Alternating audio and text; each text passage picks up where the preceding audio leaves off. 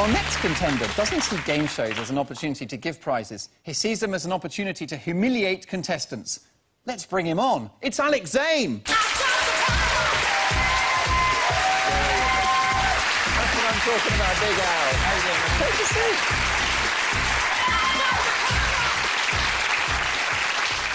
Alex, it's, it's brilliant to have you on Balls of Steel. Thank you. So what have you been up to this week? I have created the ultimate game show. Uh, it's called, uh, simply, the Sex Contract Game. And it's a cross, and you'll like this, Mark, between Blind Date and Anal Adventures 3. That's technically a dating show, is it? Yeah, it is. Uh, but this is the difference. We've got the contestants to sign a legally binding contract that means that if they win, they have to have sex or we sue them. Can't wait to see it. Here it is. So the show is just about to begin, and I've made sure the guys catch a sneaky glimpse of the girl they think they could be having sex with tonight. Mm-mm, looks like they're happy to play my sex contract game.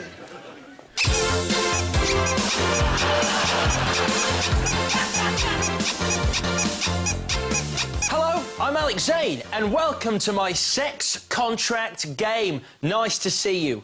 Yes, it is. This is the only game show where you're guaranteed to score by my sexy law. And that's because all of our contestants have signed a legally binding sex contract, which means if they get picked tonight, they will definitely have to do the dirty deed. If they don't put out, we put out a court injunction. If their pants don't come off, we sue them off, which means one of you will definitely be having sex tonight. Do you understand? I do. Yep.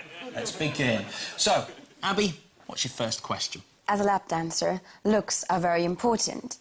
What do you think is your best feature? Um, well, I'd have to say my best feature is actually my hair. Definitely my fingers, got big old hands. I was actually blessed with jet black hair uh, due to my Italian roots.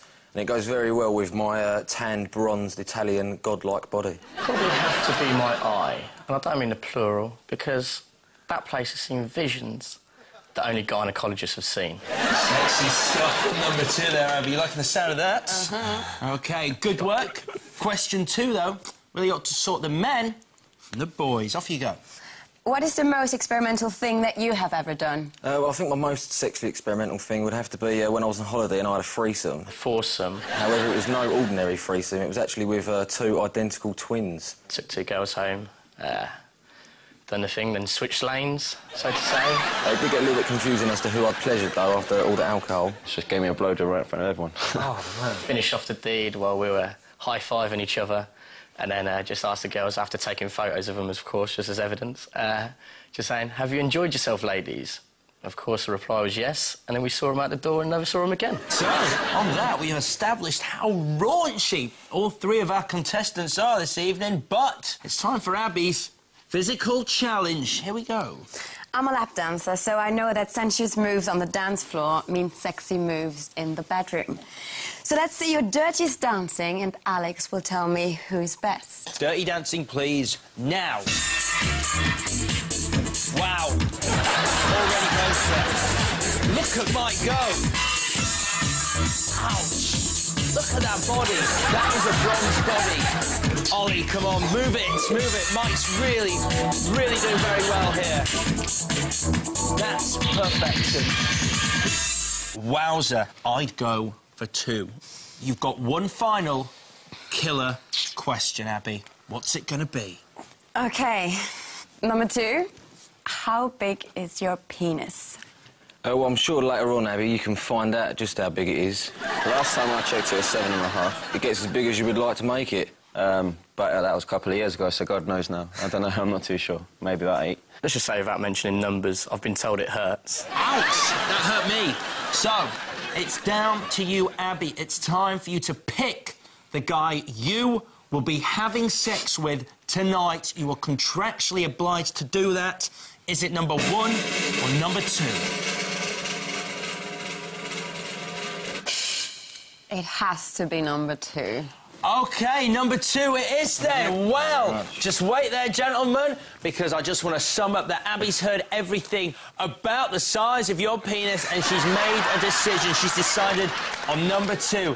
These two beautiful people will be having sex tonight. So, let's pull our screen back and unite our two lovers for the first time. Mike, here you go. Up you get. Come forward, please, Mike.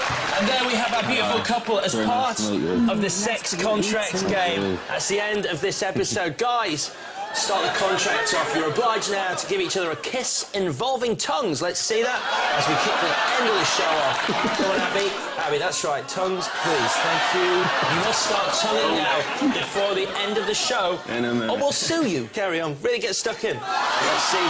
Let's see the end of the show out beautifully. Abby's very happy. She's made her selection. Daily, we don't want to sue you. We want two people to make love tonight. So let's go with the Oh, tongues. Abby, if you could do the do the deeds. Mum. Oh, it's part of your contract. Abby, eat his face. Stick the tongue out. Daily, stick it out. Oh. Stick it out. It's in the contract. Oh, it's in the contract. It is in the contract, and that's the end of another Alex Zane sex contract game. Put your tongues going for the cameras as we wave goodbye to our viewers. Tongues going.